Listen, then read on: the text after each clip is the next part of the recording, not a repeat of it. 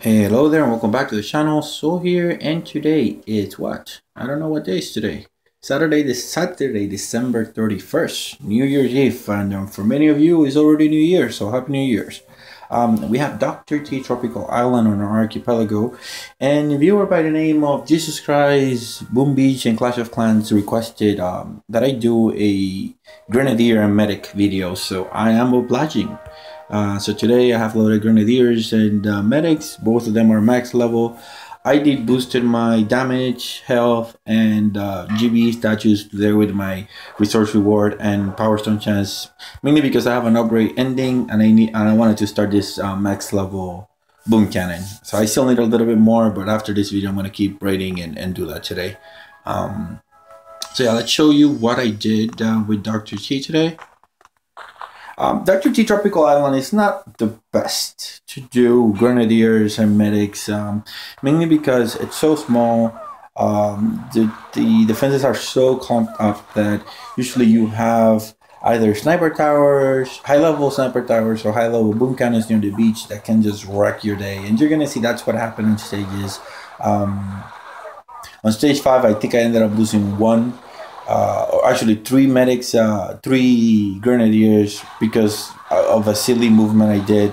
One was a, uh, a sniper tower was shooting at me and I didn't realize it until it was too late. And then I step on a boom and I lost um, three of them or two of them in, in one single shot. Then on stage six, I think I ended up losing one or two and then on the final stage i lost a bunch just because there were there were too many things to use my gbe on. I tried to use it on the stuff that could kill my grenadiers at the beginning but it didn't work that way. So stage one pretty simple. I didn't go to the overview because i mean you can go left or you can go right you can go center. If, if you are at this stage you have the gbe to take this down um, with just you know taking the the defenses with gb and then going for it. Um, nothing that's here. It's, it's a threat to to the grenadiers in terms of killing them because the medics are going to keep them alive um, as you're seeing i'm using a six to two combination so six grenadiers to medics. Um, i've seen i've seen um, five to three so five grenadiers five auto grenadiers and three auto medics. And if you have a lot of sniper towers that might work well because uh, then the, the the medics can keep up with the damage of a of a sniper tower other than that, you have to be careful with high level sniper towers. I usually use riflemen, grenadiers, and medics. So I replace two boats of grenadiers with two boats of riflemen, and that way I don't have to worry at all about one-shot defenses because my riflemen are there to serve as a meat shield. I have done videos in the past about that. Um, I'll probably put a couple of those in the in the link description. Um, not in the link description, in the upper right corner where you can click on it. Um, but uh, but yeah, so here on stage three, you see me. I took that boom cannon. I didn't want to take a risk of losing a grenadier early on. Um, it only took one artillery shot. It had about six thousand health. If you're doing this or imitating this, it will probably take you two if you're low level. Um, but besides that, I mean, this stage is pretty easy. All those machine guns are gonna are just outside of the range, and if they are just inside the range, the medics can quickly outhear that. Um, you see, like one or two. Uh, barrages of the of the grenadiers was just enough to clear up that entire site. And yeah i mean just uh, there's there's no left and right with the grenadiers. You just pick a side and then go for it. And in this case i picked the center and it worked really really well. All right so we're done with stage three. Let's take a look at stage four. I'm still haven't lost a troop. Um Haven't lost a troop. So and here you're gonna start seeing. Um, I I decided I'm not gonna take on the on the boom cannon just yet. I didn't take on the shock launcher just yet. So I wanted to see what would happen. So here I was testing the waters.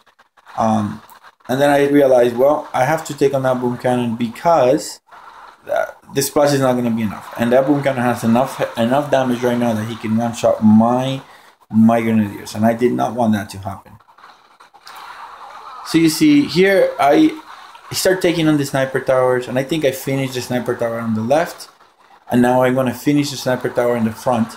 And after that, I think I'm gonna flare to the right. Yes, I did. Um, take on that rocket launcher. In reality, I did not need to do this. Um, after I take took down that uh, how do you call it, the boom cannon, there was really anything that could damage my guys. Um, however, I do need to take care of that shock launcher if I want to finish this quickly. So you see me here, I'm gonna flare to that two in front of them, and then I'm gonna shock them. One shock take care of every single defenses. Not that I needed to, to, to shock the other defenses. The only one that was critical was the shock launcher. Excuse me. Um, but just one barrage was able to clear everything out.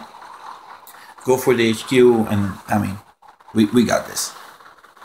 I'm gonna accelerate this. So that was stage four. Yeah, that was stage four. Let's take a look at stage five, and here's what I was saying that I lost four grenadiers.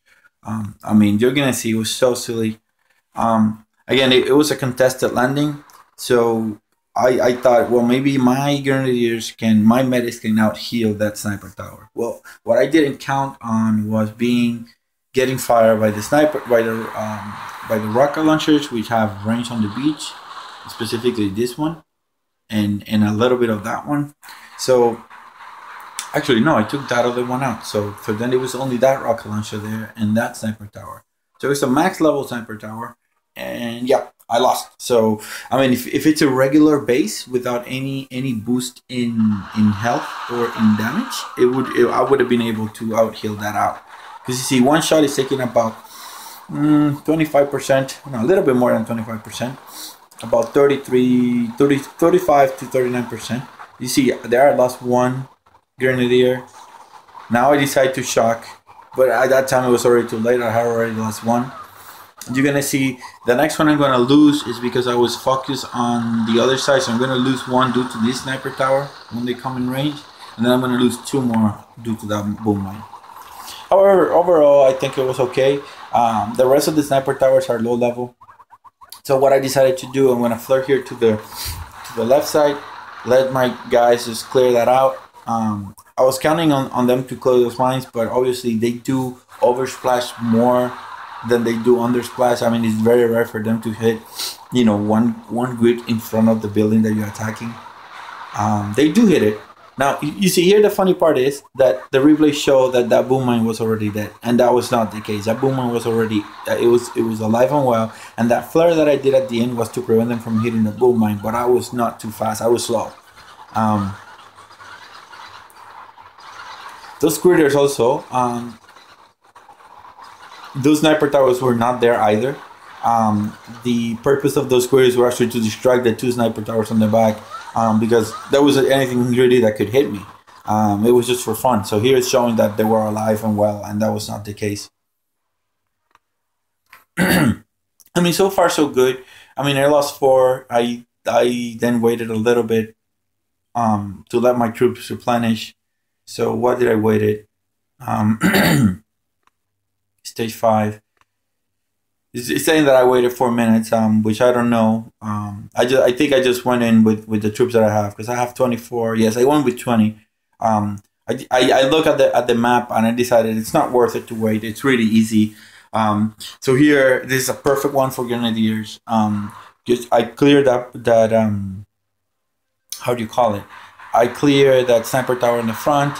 Then I went in for the two boom cannons. And then the rest is, is easy. I weakened them a little bit because I knew they would do some oversplash so that I could save some GBE at the end. Um, and we're gonna see what what ends what ends up happening.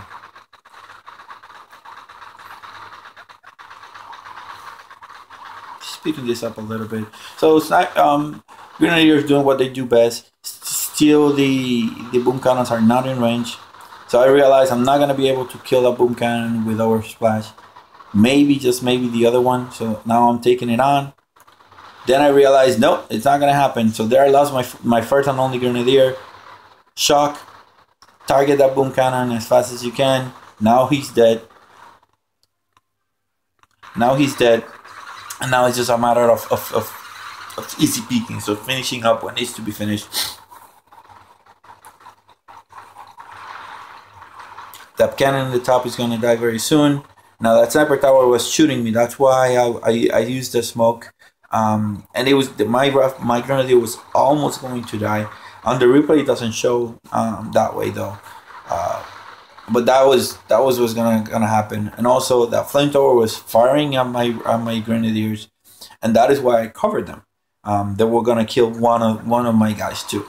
So I mean, it's kind of weird that um, seeing those replays afterwards. It's not showing exactly what it does. I guess the replays are actually just saving a few data points of, of key movements, but it's actually a new realization of what what could have happened under the same circumstances, um, which is which is funny. I mean, uh, I, I, guess this game is sort of random in, in a way. It's not it's not predetermined. Um, you know what happens to every match is not predetermined. It's, it's not deterministic. It's, it's sort of random in a way. So given the same set of input conditions, you can you can get a very different output. Because the flares, the shocks, the artillery, the movement of so everything is the same except the movement of the troops. The troops move in a different way. All right, so that's what stage was six was. Let's take a look at the final stage. Um, and then this one, I did wait it to get to get uh, fully loaded except for one, and I ended up losing eleven grenadiers. Um, this one was tough. Um, even even when partially boosted, you see I have 118 GBE, um, which amounts to 112, I want to say. Um, 82 health and 82 damage. Pretty balanced in uh, the damage and health. You see, there's a bunch of one-shot defenses on the front. Um, however, riflemen would have not helped here at all because they would have get wrecked by those machine guns. So I have to deal with them any way I can. And so what I decided, I'm going to take the three sniper towers because they're the ones that fire fastest. I'm going to take care of that shock launcher on the left because I don't want to get shocked on the beach. Um, because that's specifically when I want to go.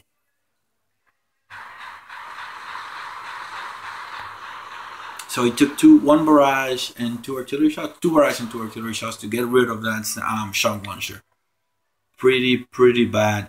So I am going to ignore the rest of the stuff. I'm gonna hope that I can collect enough GBE and do enough splash damage that these guys on the top are not gonna be um, a threat. And spoiler alert, it ended up being bad. So I go to the middle, hoping that they target the middle. They do target the middle, most of them. So I'm curious to distract the, the boom cannon, the sniper tower on the back. Um, just a little bit. I wanted just to buy me buy myself a little bit of time. You're gonna see I'm gonna lose a grenadier due to that sniper tower. I did end up losing a, a grenadier to a sniper tower, but the, the replay shows otherwise. In any case, um, I managed to clear the beach. Um, that flamethrower was not alive when I did that movement. Trust me. Um, what was alive were the machine guns. Um, I mean, this is insane. It's not even. It's not even funny. So, all right. So here we go. Now I made it to the front. I only at this point I only lost one and I ended up losing one more here due to the combination with sniper towers firing at me and the rocket launcher. And I guess it sort of show exactly where those guys are there. That's where I lost mine. Um, so, so yeah, I I need to focus. I mean, I'm chucking those shock launchers, but I'm not doing damage to them right now. So I decided I'm gonna send a critter pack to to there to aid on on the the clearing of that sniper tower. And now from here it's just doing damage the cannons are not in range. The shock launchers are, so I need to keep them shocked. And now it's just a matter of doing damage. I managed to then flare to the right or flare to the extreme left. When I did that flaring, that last shock launcher was not alive.